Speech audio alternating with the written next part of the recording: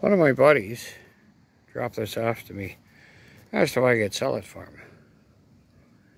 Said he paid a thousand dollars. It's apparently it's a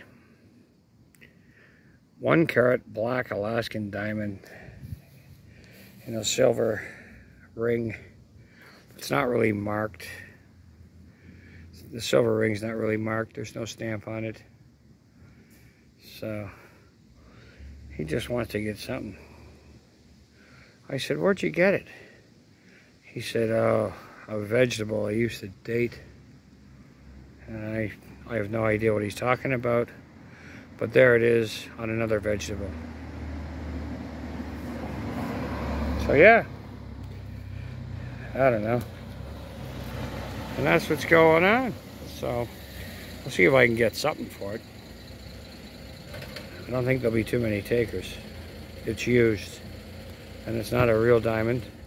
And it's not gold. But we'll see.